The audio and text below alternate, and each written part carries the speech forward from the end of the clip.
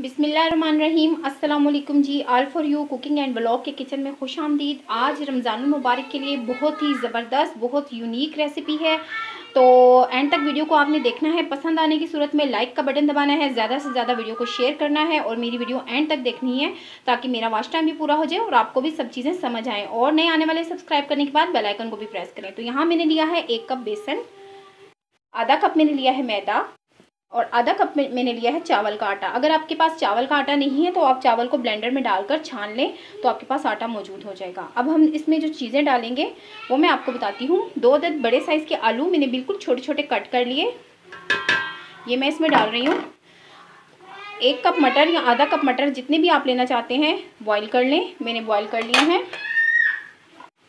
अब यहाँ पर मेरे पास है एक कप बंद गोभी, जिसको मैंने बारीक काट लिया है। और तकरीबन एक कप है मेरे पास पालक, जिसको मैंने बारीक काट लिया है, और तीन अदद बड़े साइज़ की प्याज मैंने बारीक काट ली हैं तो ये भी मैं इसमें शामिल कर रही हूँ।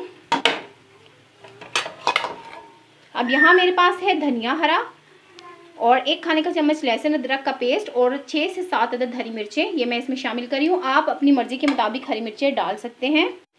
यहाँ पर मसालों में मेरे पास है हल्दी, आधी चाय का चम्मच, ज़ीरा एक चाय का चम्मच, लाल मिर्च पाउडर एक खाने का चम्मच ज़ीरा पाउडर आधी चाय का चम्मच, धनिया पाउडर एक खाने का चम्मच, दड़ा मिर्च एक खाने का चम्मच, चाय का चम्मच और नमक हसबे ज़रूरत, मैंने एक खाने का चम्मच लिया है, बाद में मैं चेक करूँगी। अब मैं इन तमाम चीज़ों को एक सख्त सी डो में, यानी सख्त नहीं बिल्कुल पकौड़ों जैसी डो जैसे है, मैं उस तरह तैयार करूँगी। लेकिन थोड़ी पकौड़ों से पकौड़े तो थोड़े से नरम होते हैं, लेकिन ये थोड़ी सी ऐसी कंसिस्टेंसी मैं आपको बता दूँ। अच्छा जी, अब हम इसको मिक्स कर लेते हैं, इस तमाम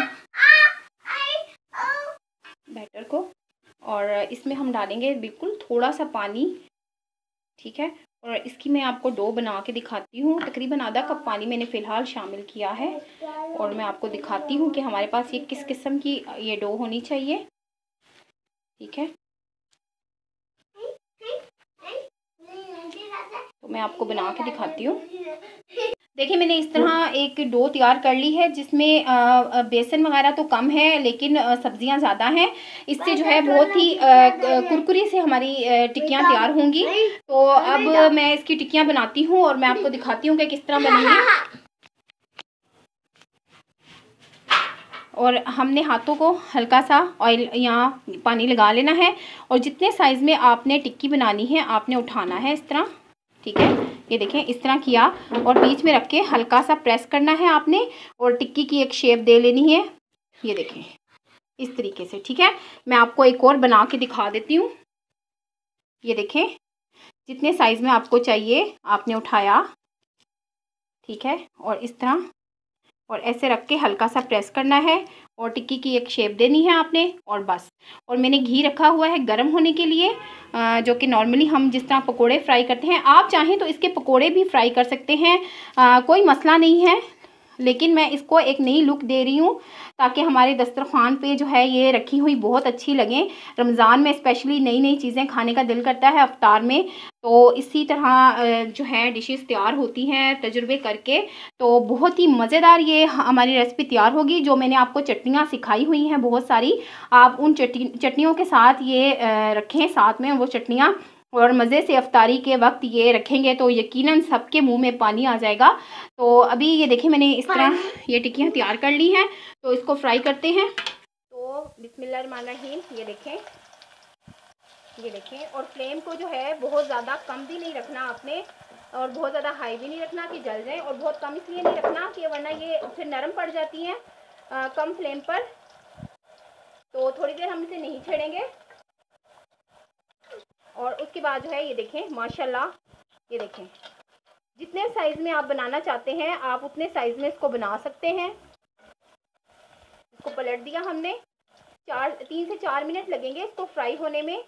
नॉर्मल आप फ्लेम पर इसको फ्राई करेंगे मीडियम पर। फ्राई हो चुकी हैं हमारी ये वाली टिक्कियाँ। तो हम इसको निकाल लेते हैं बाहर। रहीम। आप देखें कि कितनी ज़बरदस्त लग रही हैं और आप इसमें मेरे कैमरे में रोशनी कम आती है तो इस वजह से आप सबको ये शिकायत है। तो इसके लिए माजरत तो मज़ीद जो है मैं वो फ्राई करती हूँ। ये देखिए मैंने बना के रखी हुई हैं। लेकिन इसका बहुत ही प्यारा कलर आया है, गोल्डन सा।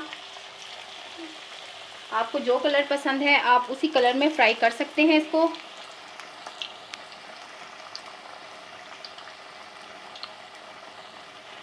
तो लीजिए जनाब, बहुत ही मज़ेदार कुरकुरी टिक्कियाँ जो हैं, वो तैयार हैं हमारी वेजिटेबल की। इतनी कलरफुल सी, इतनी मज़ेदार किस्म की यूनिक टिक्कियाँ। तो अगर आपको आज की रेसिपी अच्छी लगी तो प्लीज़ इसको लाइक करें चैनल को सब्सक्राइब करें, ज़्यादा से ज़्यादा शेयर करें वीडियो को एंड तक देखें। तो अगली वीडियो तक के लिए इजाज़त दीजिए। अल्लाह हाफिज़।